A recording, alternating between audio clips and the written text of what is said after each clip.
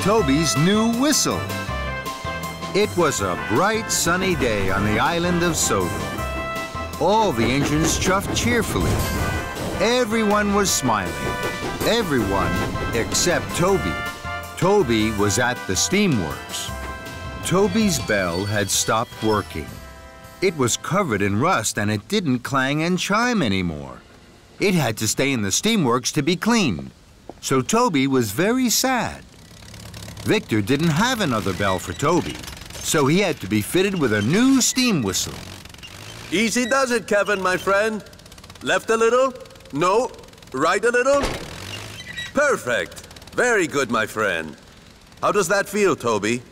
Toby thought the new whistle felt very strange. It was much bigger than his old bell. He was worried.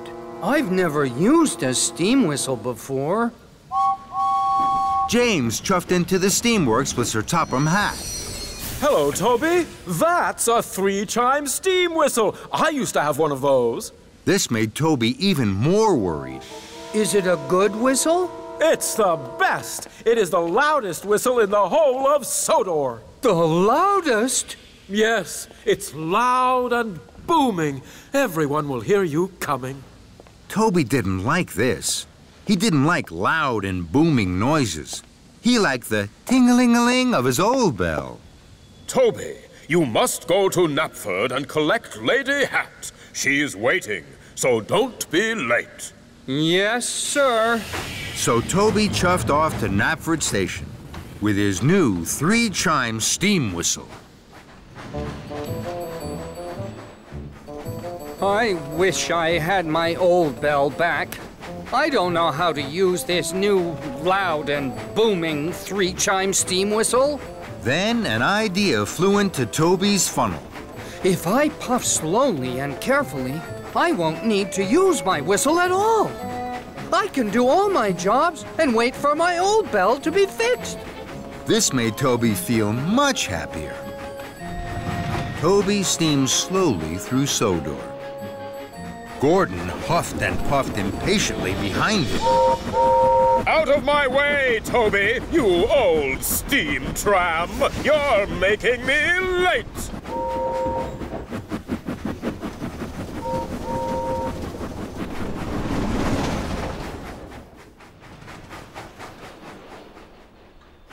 Later, some cows were on the tracks in front of Toby. He couldn't puff past them. Go away, cows, please. I need to chuff through. But the cows didn't take any notice of Toby. They didn't move. They were too busy mooing and chewing. Toby knew what he needed to do. He needed to blow his new steam whistle, but Toby was scared. I don't want to use this new three-chime steam whistle. I wish I had my little bell back. Then another idea flew into Toby's funnel. I know what I can do. I'll get help. So, Toby reversed down the track to find help. Some farm workers were working in the field. Excuse me. Hello? Hello? The farm workers didn't hear Toby. Toby blew steam and rattled his rods. But the farm workers still didn't hear Toby. They were too far away. Bust my buffers. They can't hear me. Toby knew he should use his new steam whistle, but he was still too scared. I wish I had my little bell back. So Toby puffed on. Somewhere he had to find help. But Toby couldn't find anybody to help him. So he huffed back to the cows. I do hope the cows have gone back to their field now. But the cows hadn't gone back to their field. They were still mooing and chewing all over the tracks. Oh, no! Toby tried to biff them with his cow catcher, but they still wouldn't move. Oh, no, Henrietta! I think we're trapped. Then there was trouble. Toby heard a noise that made his wheels wobble.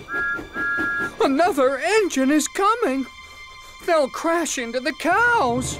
The engine steamed around the corner. It was Thomas. Thomas was racing like the wind. His firebox was fuming, and his boiler was burning brightly. I have to tell Thomas about the cows. I'll have to use this new whistle. Toby closed his eyes. His firebox flared. Steam blew into his new three-chime steam whistle. It was the loudest whistle anyone had ever heard on Sodor. What was that? It was a three chime steam whistle. They're the best whistles ever. I wonder who blew that. Thomas heard the three-chime steam whistle. Cinders and ashes. I must stop. He applied his brakes. Thomas screeched and skidded. Sparks flew and tracks trembled. Toby didn't dare look. Phew. Thank you, Toby. Your whistle told me there was trouble ahead. Toby felt very proud. I'm pleased I used my three chime steam whistle. It was even louder than my bell. Thomas was proud of his friend Toby. Together, with their whistles and wish, Toby and Thomas moved the cows from the track. Then, Toby remembered Lady Hatt. Fizzling fireboxes. I've forgotten all about Lady Hatt. She's waiting for me at Knapford. I must puff faster than Gordon to chuff there on time. Don't worry, Toby. I'll puff with you. We're sure to make it together. Thomas and Toby huffed and puffed toward Knapford Station. Suddenly, Sir Topham Hatt arrived. He was very cross.